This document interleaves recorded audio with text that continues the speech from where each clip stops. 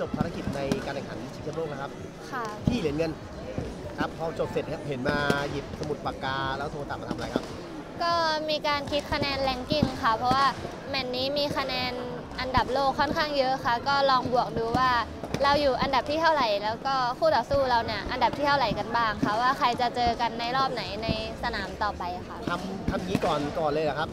ค่ะก็ทำเป็นประจำค่ะ เพราะว่าจะได้เตรียมตัวว่าเราจะได้เจอกับใคร แล้วก็ต้องดูวิดีโอแก้เกมกันไปค่ะครับบวกไปบวกมาตอนนี้เป็นไงครับอันดับโลก ก็ได้ขึ้นเป็นที่หนึ่งแล้วค่ะ หลังจากที่คว้าเหรียญเงินเมื่อวานค่ะ ได้คะแนนเพิ่มมา 84 คะแนนค่ะ ก็ขึ้นเป็นอันดับหนึ่งทั้ง ranking โอลิมปิกแล้วก็ ranking โลกเลยค่ะ ดียังไงบ้างครับ ดียังไงก็คือถ้าเรารักษาอันดับ ranking โลกค่ะ อยู่ใน 1-5 ค่ะ เราก็จะได้ไปโอลิมปิกแบบอัตโนมัติเลยแบบไม่ต้องไป qualifyโซนเอเชียแบบเพื่อนๆค่ะ ก็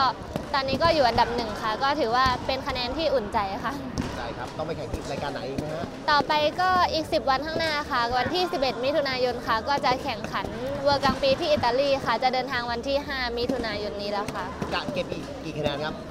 ก็เก็บตุนไว้เยอะๆดีกว่าค่ะ ก็พยายามอยู่ 1 ใน 3 แล้วกันค่ะ จะได้แบบไม่เสี่ยงที่จะหลุด 1 ใน 5 ค่ะ เพราะว่าเหลือเวลาอีกไม่มากแล้วค่ะ ถึงแค่สิ้นปีนี้เท่านั้นเขาก็จะตัดว่าใครได้ไปโอลิมปิกบ้างค่ะ เพราะฉะนั้นก็แค่รักษามาตรฐานตัวเองเอาไว้ค่ะ